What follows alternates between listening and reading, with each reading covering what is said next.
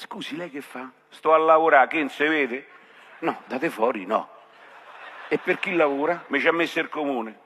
Sono il guardiano, guardiano dell'ovulo. Ah, da sempre? No, solo sto mese. Per il prossimo mese sostituiscono l'ovulo.